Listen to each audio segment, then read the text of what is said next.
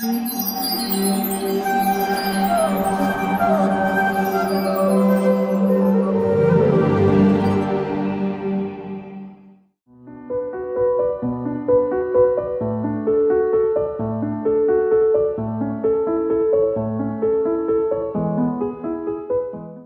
कृष्णा।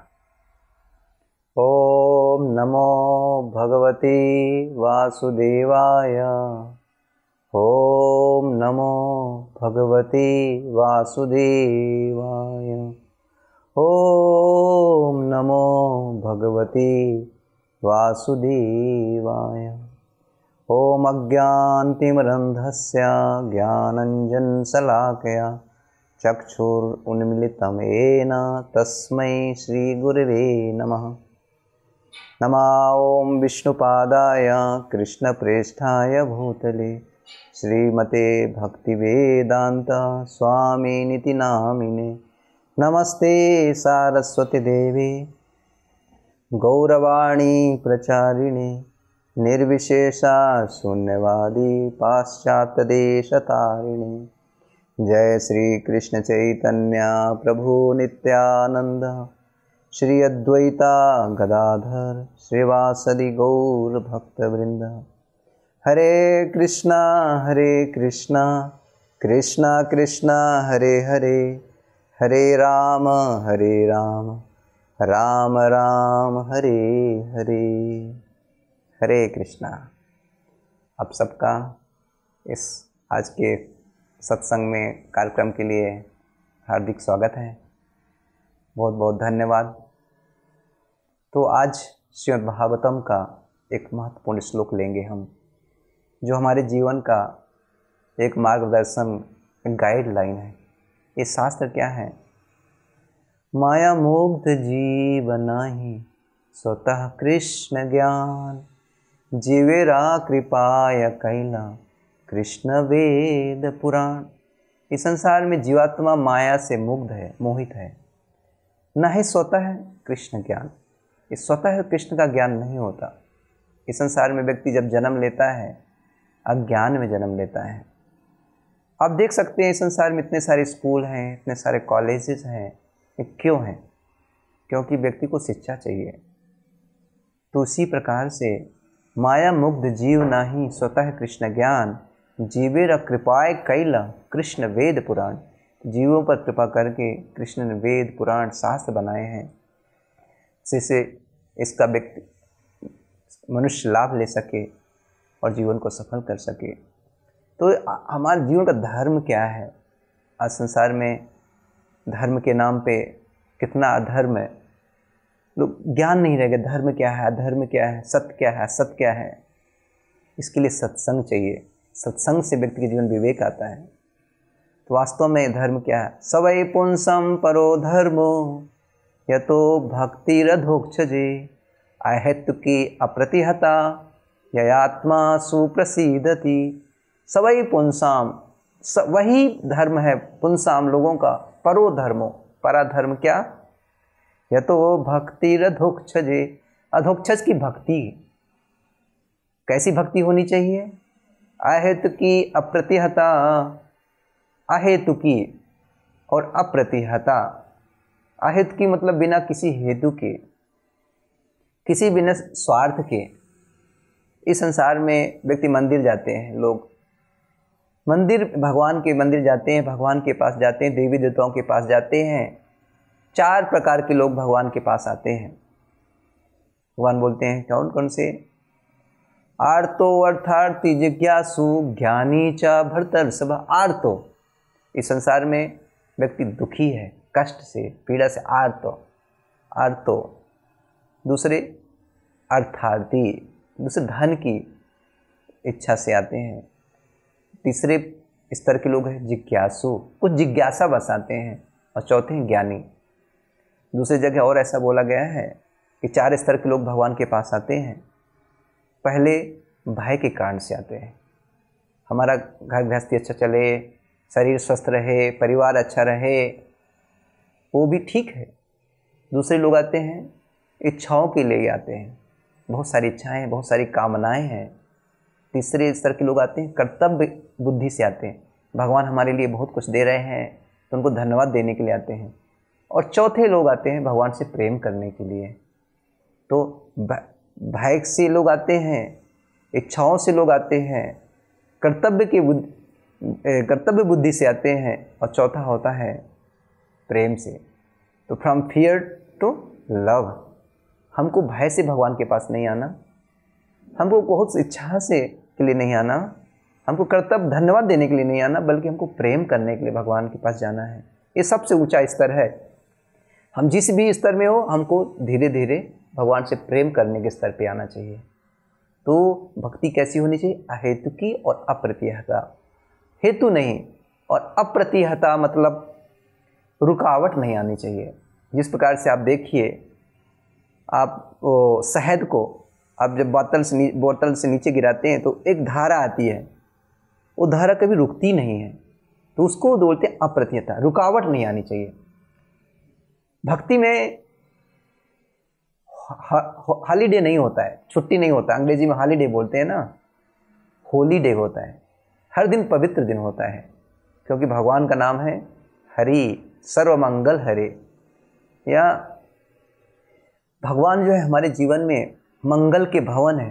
मंगल भवन, अमंगल हारी। द्रभूष दशरथ, अजीरा बिहारी। जो भगवान मंगल के भवन है, अमंगल को हरने वाले हैं। तो इस प्रकार से भगवान के पास आने से हमारा कल्याण ही होता है। तो भक्ति भगवान की करनी चाहिए। अहित की अप्रतियता बिना रुकावट के। जब ऐसा करेंगे ये आत्मा सुप्रसिद्धति हमारी जो आत्मा को प्रसन्नता देगा, जिसके लिए हम सब उसकी प्रयास में, सब एक संतुष्ट, संतुष्टि चाहिए जीवन में, एक सुकून चाहिए, शांति चाहिए, प्रेम चाहिए, विश्वास चाहिए, ये कहाँ मिलेगा? तो ये भगवान के संपर्क में, ये भगवान के पास है। अशेष संक्लेश समम विधत्ते। गुणानुवादा श्रवणम मुरारी। किम वा पुनस्तच्चरणारविंदम पराग सेवा रतिमात्म लब्धा अशेष संक्लेश, जितने भी चिंताएँ, क्लेश हैं समम विधत्ते, शांत हो जाते हैं। क्या करने से? गुणानुवाद श्रवणम मुरारी। जब भगवान के, मुरारी के गुणों का अनुवाद को श्रवण करते हैं। और क्या होता है? किम वह पुनस्त चरणारविंदम। यदि भगवान के चरणों की सेवा करने का अवसर प्राप्त हो तो क्या कहना? तो भक्ति मतलब भगवान की सेवा। भक्त, सेवा मतलब अपने इंद्रियों से, इंद्रियों के जो स्वामी हैं, उनकी सेवा करना। सर्वोपाधि विनुक्तम तत्परते निर्मलम। ऋषिकेश, ऋषिकेन, ऋषिकेश सेवनम। ऋषिकेश मतलब ऋषि मतलब होता है इंद्रियाँ। ऋषिक एस, ऋषिक ईस, जो ऋषि इंद्रियों के मालिक हैं, उनकी सेवा करना इंद्रियों के द्वारा वो भक्ति है। तो भक्ति मतलब हमारी इंद्रियों से भगवान की सेवा करना वो भक्ति है। और भक्ति ही मनुष्य जीवन का जो परम सिद्धि है। भक्ति करेंगे तो हमारा जीवन सफल है। भक्ति के बिना जिस प्रकार से आप देख सकते हैं, कोई व्यक्ति मर जाता है, मृत हो जाता है, उसके शरीर को लोग सजाते हैं। तो आप बताइए, जिस शरीर को सजाया है, उसको क्या सुख मिल रहा है? नहीं ना। उसी प्रकार से यदि हमारे जीवन में भक्ति नहीं है तो हमारा जीवन निष्प्राण है, मृत शरीर के जैसे शास्त्र बोलते हैं। भगवत भक्तिहीन जाति शास्त्र जपस्तपा अप्राण से ही देहस्य मंडनम लोकरंजनम भगवत भक्तिहीन से, यदि हमारा जीवन भगवत भक्ति से हीन है जाति शास्त्र जप तपह हमारे जीवन में जो हमारा जात, अच्छे कुल में परिवार में पैदा हुए, जाति, शास्त्र बहुत पढ़ाई किया है, शास्त्र, जप बहुत जप किया, तप किया है। लेकिन ये कैसे है? अप्राणस ही देहस्याम मंडनम लोक रंजनम ऐसे शरीर को सजाने के जैसा है, जिस शरीर में प्राण नहीं है। लोग क्यों सजाते हैं? तो मंडनम लोक रंजनम जिस प्रकार से कोई मुर्दे को, मनुष्य शरीर को सजाते हैं, किसकी प्रसन्नता के लिए, किसके रंजन के लिए? लोक रंजन ये देखो, उसको कितना सजाया है। लेकिन वो जो व्यक्ति था, वो तो चला गया। तो हमारा जीवन यदि भक्तिमय भक्ति नहीं है हमारे जीवन में, सब कुछ है, लेकिन फिर भी सुकून नहीं, शांति नहीं रहेगा, प्रेम नहीं रहेगा, विश्वास नहीं रहेगा। इसलिए भगवान की सवई पुंसम परो धर्मो यथो भक्ति अधोच्छे, अहत की अप्रत्यता आत्मा सुप्रसिद्धति। धर्म का मतलब क्या है? धर्म का मतलब है धर्मम तो साक्षात भगवत प्रणीतम। कानून का मतलब जो सरकार ने बनाया है धर्म मतलब जो भगवान ने दिया है, भगवान ने बनाया है, और धर्म क्या है, जिसको कभी अलग ना किया जा सके। जिस प्रकार से शक्कर का धर्म है, उसका मीठापन, नमक का धर्म है, नमकीन, खट्टा का धर्म है, उसका खटाईपन मिर्ची का धर्म है, तीखापन तो जीवात्मा का धर्म क्या है, जीवात्मा का स्वभाव क्या है, वो है प्रेम करना, सेवा करना। तो वास्तव में संसार में कोई प्राणी ऐसा नहीं जो किसी से प्रेम नहीं करे या नहीं करना चाहे, सेवा ना करता हो, लेकिन वास्तव में किसकी सेवा करना चाहिए? तो हमारे भगवान की सेवा। भगवान को जानना। और भगवान की सेवा करेंगे, भगवान को जानेंगे। तो भगवान से यदि कोई प्रेम करता है तो स्वाभाविक रूप से सबसे प्रेम करेगा। तो इस प्रकार से तो भक्ति जो है, बहुत महत्वपूर्ण चीज़, एक धर्म है भक्ति। सबसे बड़ा धर्म है, बस सबसे बड़ा धन है। शास्त्र बोलते हैं, भक्ति योग भक्ति योग भक्ति योग धन। अब लोग बोलिए, भक्ति योग भक्ति योग भक्ति योग धन। भक्ति कृष्ण नाम स्मरण क्रंदन। भक्ति क्या है? भगवान के नाम लेना, भगवान कृष्ण का गुणगान करना। स्मरण क्रंदन। और भगवान का स्मरण करना, भगवान के लिए रोना। जिस प्रकार से एक बच्चा अपने माता पिता से जब बिछुड़ जाता है तो केवल कष्ट ही उठाता है, दुख ही उठाता है। भगवान भगवत गीता में बोल रहे हैं, ममे अंशो जीवलो जीवलोके, जीवभूता सनातना, मना ष्ठानी इंद्रियाणी, प्रकृति स्थान कर्षति। इस संसार में जीवात्मा मम एव अंशो मम मम, मेरा ही अंश है। जीवलोके जीव इस संसार में। ममे अंशो जीवलोके, जीवभूता सनातना। ये जीवभूत है, सनातन है। लेकिन अभी क्या है? क्या हाल बना रखा है अभी? मनाष्ठान इंद्रियाणी प्रकृति स्थान कर सती जो पाँच इंद्रियाँ, हमारे जो ज्ञान इंद्रियाँ हैं, छठवा मन। मना ष्ठान इंद्रियाणी, ये मन के साथ इस संसार में संघर्ष कर रहा है, सुख के लिए संघर्ष कर रहा है, कष्ट कर रहा है। माया का कस्टमर बना हुआ है। कस्टमर मतलब जो कष्ट कष्ट करके, कष्ट कर करके मरता है वो कस्टमर इस संसार में जन्म से लेके मृत्यु तक केवल कष्ट, दुख। इसलिए भक्ति विनोद ठाकुर जो एक बहुत बड़े आचार्य हुए हैं, वो बोलते हैं, अपने भजन में, भूलिया तुम्हारे संसारे असिया, पे नाना विध व्यथा। भूलिया तुम्हारी संसार में भूल कर भगवान में आके असिया आया और पे नाना विध व्यथा इस संसार में नाना प्रकार के कष्ट, तकलीफ़ उठा रहा हूँ, क्योंकि आपको भूल गया।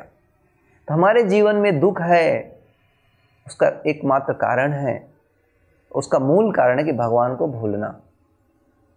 जिस प्रकार से एक बच्चा अपने माता पिता का आश्रय छोड़ के यदि कहीं चला जाता है, भटक जाता है तो केवल कष्ट उठाता है। उसी प्रकार हम सब के पिता तो भगवान हैं। भगवान भगवत गीता में स्वयं बताते हैं, सर्व योनिषि कौनते या अहम बीज प्रतापिता। मैं सारी योनियों का कौनते मैं बीज देने वाला पिता हूँ। तो जीवत की, जीवात्मा की विशेष रूप से मनुष्य जीवन जो प्राप्त हुआ है, ये दुर्लभम मानुषम जन्मम, जो मनुष्य जन्म दुर्लभ प्राप्त हुआ है, वो भगवान के भक्ति करने के लिए है। ये प्रहलाद महाराज भी है, जो श्रीमद भागवतम में वर्णन आता है सातवें स्कंद में अपने मित्रों को गुरुकुल में जो है पढ़ाई करते हुए उनको शिक्षा देते हैं, बताते हैं कि जो भागवत धर्म है, कब से पालन करना चाहिए? बहुत सारे लोग बोलते हैं, भक्ति तो बूढ़े में करना चाहिए। अभी भक्ति क्या करना है? लेकिन बुढ़ापा क्या है? आप बता सकते हैं बुढ़ापा किसको बोलते हैं? जब आँखों से ना देखे उसको बुढ़ापा बोलते हैं। चश्मा लग जाए उसको बुढ़ापा बोलते हैं। आज पाँच साल के बालक को भी चश्मा लग गया। क्या वो बूढ़ा है? आज सुनाई नहीं देता। उसको मशीन लगता कान के। आज बाल पक जाते हैं, बाल झड़ जाते हैं, बूढ़ा कौन है? वास्तव में बूढ़ा वो है, जो मृत्यु के ज़्यादा करीब है, वही बूढ़ा है। तो कौन बता सकता कि हमारी मृत्यु कब होगी? इसलिए शरीर को बोला गया है, अध्रुवम। टेम्परेरी है, क्षणिक है क्षण भंगुर है। क्षण भंगुर मतलब जानते हैं? इस प्रकार से कोई ग्लास है, कांच का। गिरा तो टूटने ही वाला है, उसको आप जोड़ नहीं सकते। इसलिए हमारा मनुष्य शरीर प्राप्त हुआ है सुदुर्लभ, लेकिन सुलभ हो गया है। तो कितना साँसें हमारे पास हैं? ये जो मनुष्य जीवन विशेष रूप से कई जन्मों के बाद लब्धा सुदुर्लभम इद बहु संभवंते मनुष्यम अर्थदम अनित्यम अपीय धीरा। जो मनुष्य शरीर प्राप्त हुआ है, उसके धीर व्यक्ति को चाहिए तोड़म यतेत अनुमृत्युयावत निःश्रेयसाय, विषय खलु सर्वथा से व्यक्ति को निःश्रेयस, कल अंतिक, अत्यंतिक कल्याण के लिए कार्य करना चाहिए। तो है भक्ति, मनुष्य जीवन के लिए। मनुष्य जीवन ही एक ऐसा है जो भगवान की भक्ति कर सकता है। ये भगवान की सेवा कर सकता है और अपने जीवन को सफल बना सकता है। तो भक्ति क्या है? बहुत सरल में भगवान की सेवा करना, अपने इंद्रियों से। हमारी जो इंद्रियाँ हैं, हमारी दो प्रकार की इंद्रियाँ होती हैं। ज्ञान इंद्रियाँ कर्म इंद्रियाँ जिससे हम इंद्रियों से ज्ञान प्राप्त करते हैं, उसको ज्ञान इंद्रियाँ आँख, कान, नाक, जीवा और स्पर्श इंद्रिय त्वचा। ये होते ज्ञान। कर्म इंद्रिया हाथ, पैर, मुँह, गुदा और जनन इंद्रियाँ तो ये हमारे इंद्रियों से भगवान की सेवा करना, वो भक्ति है। कलयुग में भक्ति तो बहुत सरल बना दिया है। चैतन्य महाप्रभु की कृपा से, ये चैतन्य महाप्रभु कौन है? स्वयं भगवान श्री कृष्ण श्री कृष्ण चैतन्य राधा कृष्ण ना ही अन्य। जो कलयुग में 500 साल पहले भगवान आए भक्ति सिखाने के लिए। क्योंकि भगवान भगवत गीता में बोल के गए थे, सर्वधर्मान परित्यज्य मामेकम शरणम व्रजा अहम तम सर्वपापेभ्यो मोक्षस्यामी माँ सुचा सारे धर्मों को छोड़कर मेरी शरण में आओ। मैं तुम्हारे सारे पापों से मुक्त कर दूँगा, डरो मत। लेकिन भगवान की शरण में जाएँ कैसे? तो उसको सिखाने के लिए भगवान श्री कृष्ण स्वयं भक्त के रूप में आए। अपनी आचार्य प्रभु जीवेरा सिखाए तो भगवान भक्त के रूप में आए। और कलयुग में भगवान ने श्री कृष्ण चैतन्य के रूप में आए। श्री कृष्ण चैतन्य संकीर्तन प्रवर्तक श्री कृष्ण चैतन्य संकीर्तन यज्ञ, जय भजे, से बड़ो धन्य। संकीर्तन मतलब सम्यक रूपेण कीर्तन, जो संकीर्तन से, संकीर्तन मतलब भगवान के नामों का गुणगान करना, कीर्तन करना। कलिकाले नाम रूपे कृष्ण अवतार। मतलब भगवान के अवतार लिया है नाम के रूप में। ए रामायण में तुलसीदास जी बोलते हैं, कलयुग केवल नाम अधारा, सुमिरति सुमिरति पावही पारा महाराष्ट्र के संत तुकाराम महाराज बोलते हैं, हरि मुखे मणा, हरि मुखे मणा, हरि मुखे मणा, पुण्य की गणना कौन करी? यदि पुण्य एकत्रित करना है तो हरि मुख मना कलिकाले नाम रूपे कृष्ण अवतार। नाम है ते सर्व जगत निस्तार। कलयुग में भगवान ने अवतार लिया है नाम के रूप में। क्योंकि हर युग में अलग अलग धर्म है।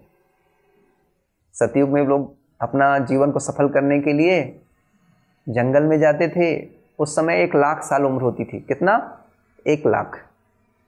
उसमें ध्यान करते थे, साठ हज़ार साल, पचास हज़ार साल, दस हज़ार साल।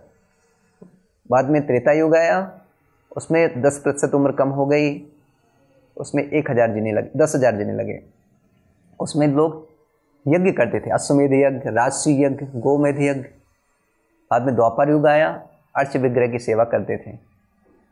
उसमें उम्र हज़ार हो गई और कलयुग में सौ साल। और आज कितने लोग सौ साल जीते आप बता सकते हैं? देखा है? कितने लोग को आप जानते हैं जिनकी उम्र सौ साल है? अस्सी, सत्तर, पचहत्तर। एवरेज जो है, आज की औसत आयु हो गई है साठ साल। साठ साल जो जी लिया, बहुत जी लिया। तो कलयुग में हम क्या कर सकते हैं? हम ना तो ध्यान कर सकते, ना तो यज्ञ कर सकते ना तो अच्छे विग्रह की सेवा कर सकते हम भगवान केवल नाम स्मरण कर सकते हैं। तो ये जो सुनहरा अवसर है, मनुष्य जीवन है, ये भव सागर से पार होने के लिए श्री कृष्ण चैतन्य महाप्रभु जो आए हैं, भक्ति सिखाने के लिए आए हैं। तो भक्ति है भगवान का सेवा करना।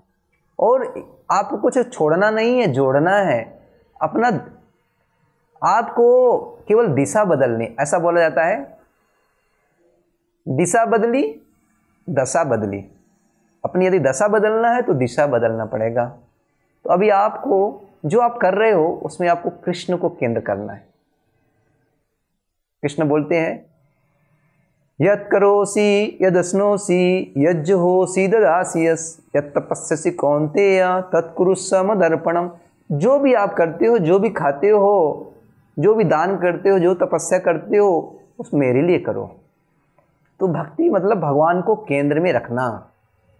अभी हम सब अपना केंद्र, अपनी इच्छा, और हम सब खुद केंद्र में हैं। तो हमारे जीवन में यदि शांति चाहिए, सुकून चाहिए यह तो भगवान को केंद्र में रखना चाहिए।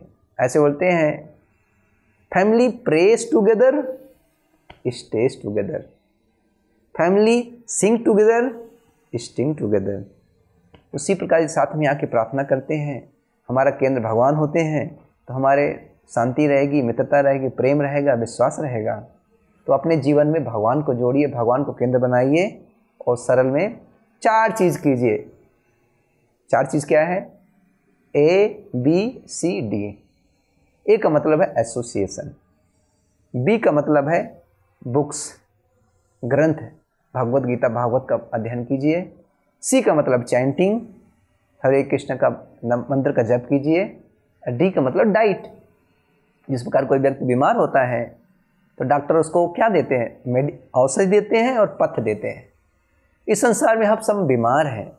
जन्म, मृत्यु, बुढ़ापा, बीमारी, ये भवसागर में हम सब डूब रहे हैं। तो आत्मा के लिए, उद्धार के लिए चार चीज़ यदि करेंगे तो मनुष्य जीवन सफल हो। भक्तों का संग, ग्रंथों का अध्ययन, भगवान के नाम का जप और भगवान का भोग लगाया हुआ, नैवेद्य लगाया हुआ, अर्पित प्रसाद खाएँगे। आप घर बैठे आप कर सकते हैं अब घर में, घर को मंदिर बना सकते हैं। नहीं तो भवन, घर को भवन भी बोलते हैं। तो जहाँ पे भवन में यदि भगवान निकल गए तो वो जंगल है, वन है, और वन में, जंगल में कभी शांति, सुकून नहीं मिलता। जहाँ भगवान रहते हैं, वहाँ शांति मिलता है। इसलिए भवन वही है जहाँ पे भगवान है, नहीं तो वन है। नहीं तो वो मकान है, चार दीवारों का मकान। इसलिए यदि हम भगवान हमारे जीवन में केंद्र रहेंगे तो हमारा जीवन सफल होगा। तावत रागदस्तेनस तावत ग्रह कार ग्रहम काराग्रहम तावत मोह अंग्रि निगड़ो, यावत कृष्ण ते जना ब्रह्मा जी बोलते हैं कि जब तक व्यक्ति के जीवन में कृष्ण जन, कृष्ण के जन नहीं बनते, तावत राग आद्यस्तेनस उनका राग, आसक्ति चोर के जैसे है। और उनका जो घर है, कारागृह है, जेल है, और उनको जो मोह है, पैरों में बेड़ियाँ हैं, जब तक कृष्ण के जन नहीं बनते। और कृष्ण के जन बनेंगे हरिजन बनेंगे तो जो कारागृह कारागृह नहीं रहेगा, वो मंदिर हो जाएगा घर। और पैरों में बेड़ियाँ नहीं रहेंगी और उसको मोह नहीं रहेगा।